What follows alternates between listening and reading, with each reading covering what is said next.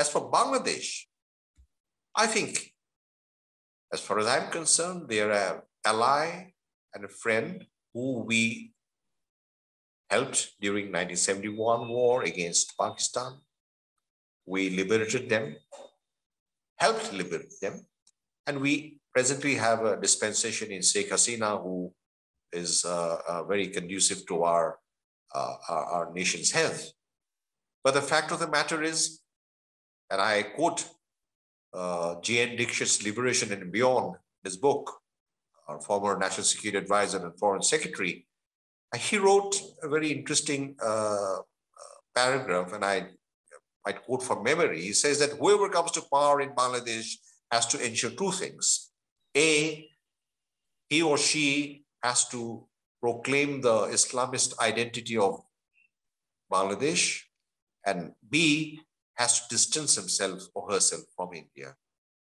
Now, J.N. Dixit, I knew him uh, as a national security advisor when I was in the National Security Council Secretariat. Of course, he passed uh, away in a very untimely manner. But the fact of the matter is, is the sagacity with which he put forward these two, I would say, axioms as far as Bangladesh is concerned, continues to be true, despite the fact that Sheikh Hasina is a friend and ally, and we need to empower her even more. But the fact of the matter is there are compulsions within the erstwhile East Pakistan she's unable to sort of, you know, handle sometimes. When she was acting against Islamist, and as, as she is, when she was acting against Indian insurgents, which she handed over to us, she had to willy-nilly use not the Directorate General of Forces Intelligence and the National Security Intelligence, which were the two important uh, agencies in the country, right. but the detective branch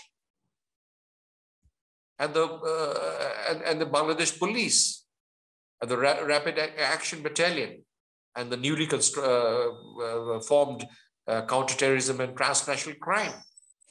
Why? Because the DGFI and the NSI have an old-time network with the Pakistan Army.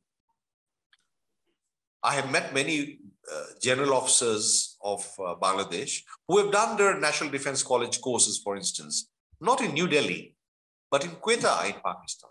So naturally, you know, I come from a background where I studied in the Rashtriya Indian Military College, and the old time network is very, very strong.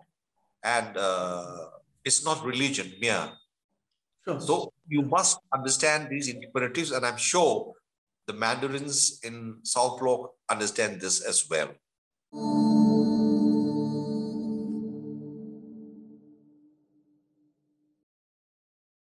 Please remember to subscribe to us and switch on the notifications for this channel. For our other social media links, more content, and to support our work, please visit citti.net. Dhanyavad. Namaskar.